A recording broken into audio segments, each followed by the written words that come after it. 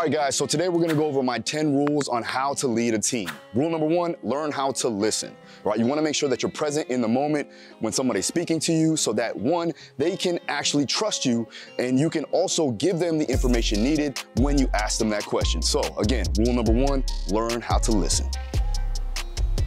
Rule number two, create relationships by building trust. That means you have to be consistent. Do what you say you're gonna do and say what you mean.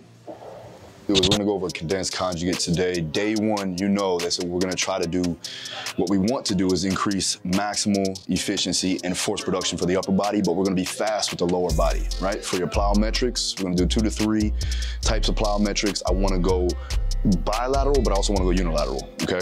Accessories, we're gonna do three to four based upon their weaknesses and then conditions. Okay, rule number three, guide but do not micromanage. You wanna give them the tools, the tactics, and some systems that will allow them to do what they need to do. Once that's set in stone, then let them go out there and prove their worth and do their thing so that you can be the leader that you are. Rule number four, lead from the front and the back. Don't be afraid to push them, but also never tell them to do something that you wouldn't do yourself. Rule number five, showcase your value by improving yourself. Always look to learn, read, research, whether that be YouTube, podcast, or any other forms of getting better, you always want to get better each and every day. Then what does it feel like? He says it feels like like a stretch in his quad In his quad, like in his VMO, or is like Like like inside, inside. or in his adductor? Inside. Okay. So probably do some soft tissue work first, Yeah. right? So let's get him in here if you can. Let's get him with Dr. Greg. Yeah.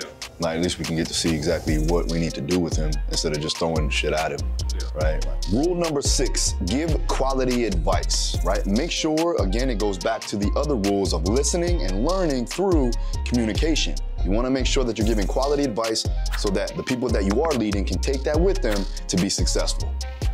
Yeah. Split squats and his right side, he was Rule number seven, make them see and believe in your vision, right? You wanna make sure that everybody understands where we're trying to go and what we're trying to accomplish so everything is ready to be bought in.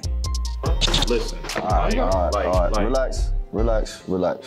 All right, it's not that serious. Let's make sure that we keep professional. All I'm good. Like it's I'm, I'm straight. I'm, All right. I'm good.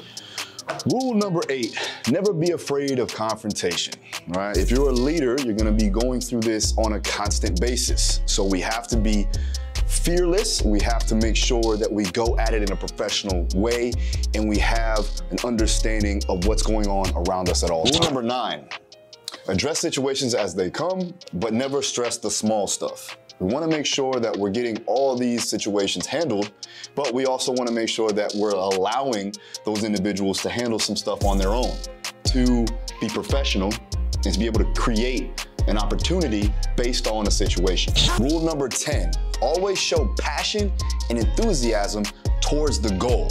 If you don't show passion, if you don't show that you are really, really wanting to get these goals accomplished, then the people that are following you are not gonna buy in to what you plan. So we wanna make sure that every time we go after a situation, we go after it with enthusiasm and passion. All right, guys, so there you have it 10 rules to lead your team or your business. All right, I hope you guys like this style of video. We did a little something different. If you like it, make sure you show me some love. Hit the like button, make sure you subscribe, hit the notification, and I'll see you again next time. Peace.